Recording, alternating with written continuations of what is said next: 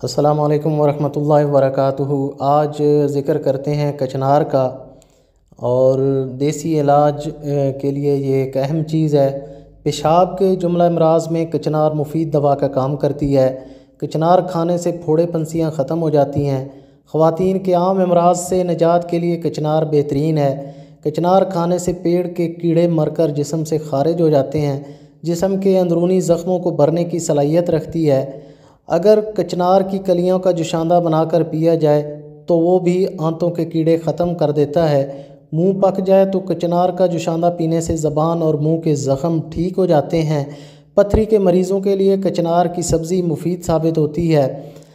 कचनार और गोश्त पकाने का तरीका कुछ इस तरह है कि गोश्त या कीमा एक किलो ले लेना है और कचनार एक किलो ले लेना है। घी इसमें सवा कप ले लेना है और प्याज चार अदद। बड़े साइज़ के लेने हैं, दही चार कप लेनी है।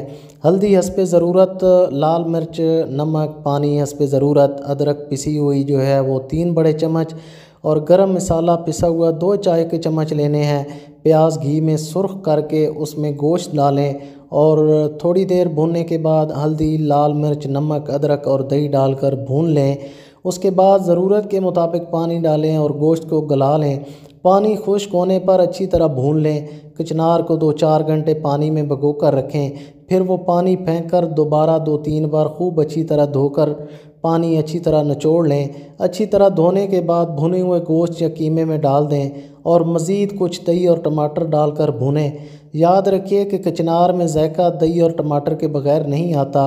थोड़ी देर के लिए भूनना है। आखिर में थोड़ा सा पानी डालकर ऊपर से ढक दें और धीमी आँच पर पकने दें।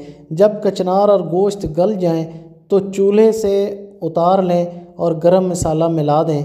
इसमें अदरक बारीक कतरी हुई छड़क दें। कचनार के लिए दही, टमाटर, गरम मसाला और अदरक ज़रूरी है। कुछ लोग कचनार की कलियों को उबालने के बाद उनका पानी निथार लेते हैं। और उसके बाद उनको गोश्त या कीमा शामिल करते हैं। इससे कचनार की गजाइत ज़ाय हो जाती है।